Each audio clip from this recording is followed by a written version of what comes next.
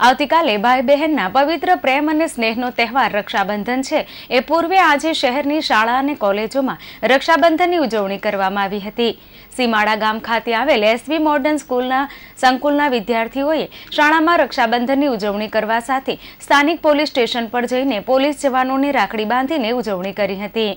ભાઈ બહેનોના પ્રેમના પ્રતીક સમા ગણાતા એવા રક્ષાબંધનની તમામ પરિવાર આવતીકાલે ઉજવણી કરશે. એ પૂર્વે સુરતના સીમાડા ગામ શ્યામધામ ચોક સાંઈ કૃપા સોસાયટી ખાતે આવેલ એસવી મોડર્ન સંકુલની શાળાઓ દ્વારા આજે રક્ષાબંધનની ઉજવણી કરવામાં આવી.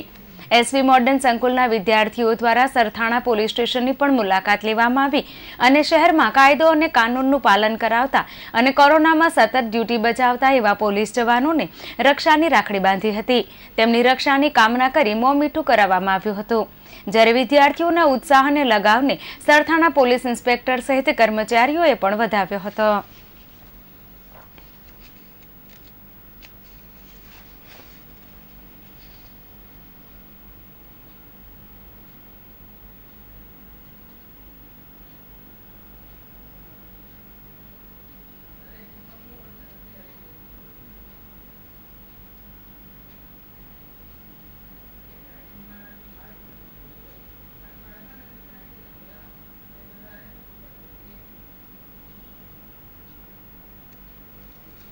રક્ષાબંધનની ઉજવણી પૂર્વે જ દેશની બહેનો દેશની સરહદોની રક્ષા કરતા સૈનિકોનો પ્રથમ વિચાર કરતી હોય છે.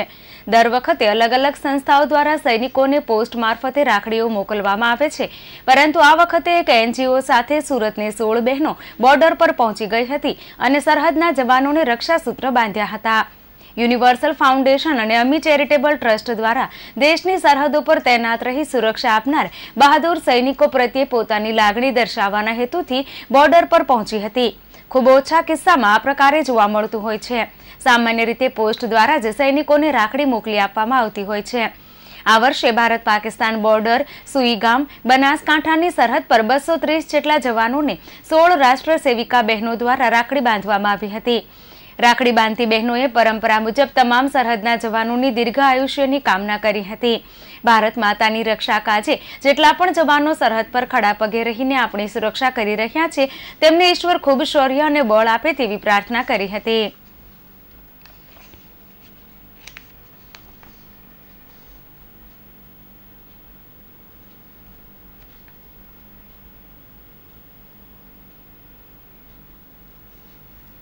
સામાન્ય રીતે રક્ષાબંધન પૂર્વે કોલેજોમાં યંગસ્ટર રાખડી બાંધીને ઉજવણી કરતા હોય છે.